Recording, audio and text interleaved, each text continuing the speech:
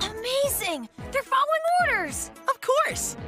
Pikachu. You don't have to go through all that again.